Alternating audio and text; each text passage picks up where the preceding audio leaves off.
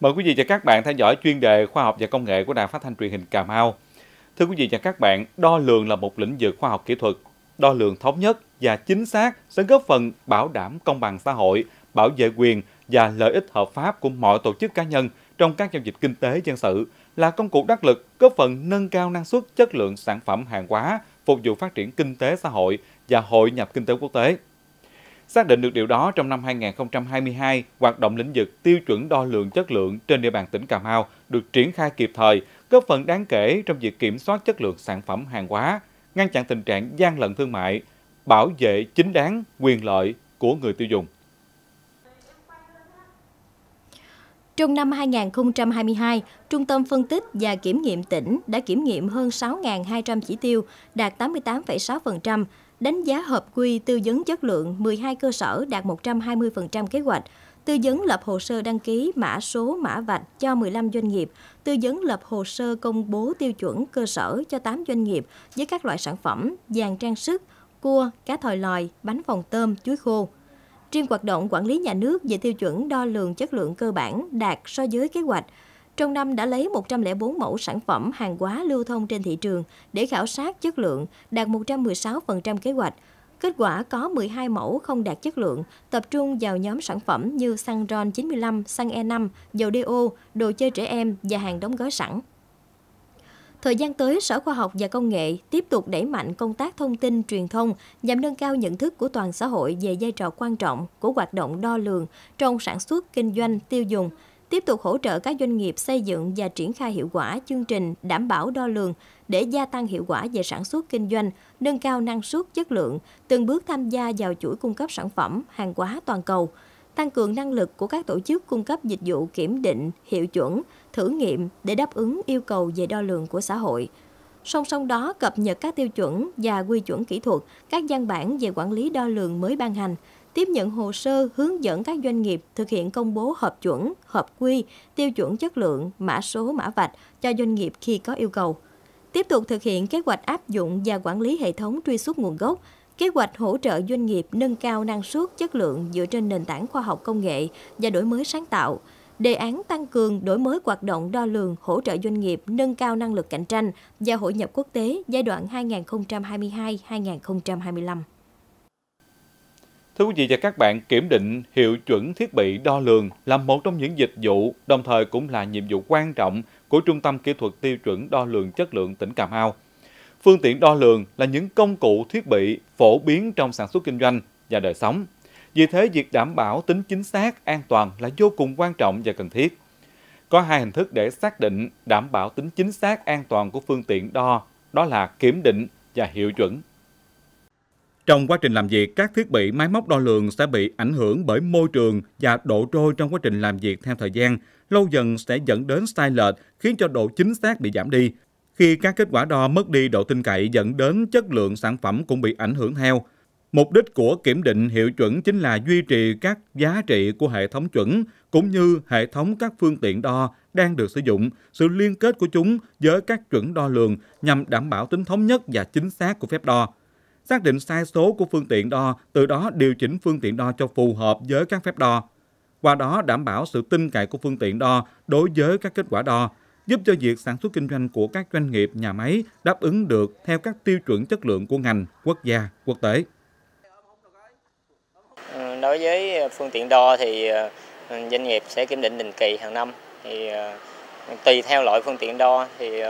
có loại phương tiện đo thì ờ, mình À, hiệu lực của nó là một năm mình kiểm định một lần. Ờ, ví dụ như các loại cân, ờ, huyết áp kế rồi thì mình sẽ một năm mình kiểm định một lần. Còn chu kỳ kiểm định của nó ví dụ như công tơ điện thì là 5 năm kiểm định một lần. Rồi như à, taxi thì ờ, 18 tháng mình kiểm định một lần. Luật đo lường điều 16 quy định cụ thể.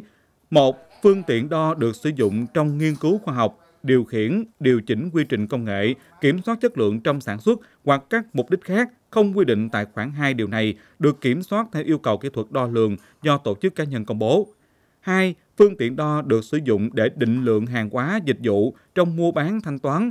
bảo đảm an toàn, bảo vệ sức khỏe cộng đồng, bảo vệ môi trường, trong thanh tra kiểm tra, giám định tư pháp và trong các hoạt động công vụ khác thuộc danh mục phương tiện đo nhóm 2 phải được kiểm soát theo yêu cầu kỹ thuật đo lường do cơ quan quản lý nhà nước về đo lường có thẩm quyền quy định áp dụng.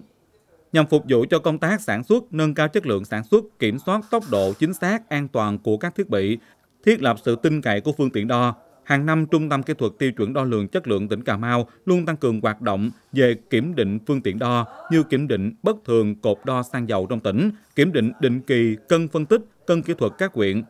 Trong năm 2022, trung tâm đã kiểm định hơn 24.000 phương tiện đo, đạt 121,63%. Trung tâm mình được công nhận khả định khả năng kiểm định là 21 loại phương tiện đo. Thì trong đó có là cột đo xăng dầu, ờ,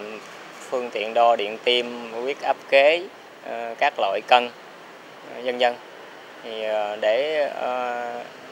đảm bảo phục vụ cho doanh nghiệp ờ, trong quá trình ờ, ờ, sử dụng các loại thiết bị đo đếm trong mua bán và cũng như an toàn sức khỏe thì trung tâm cũng là đơn vị dịch vụ để phục vụ việc kiểm định hàng năm cho các đơn vị tạo điều kiện cho doanh nghiệp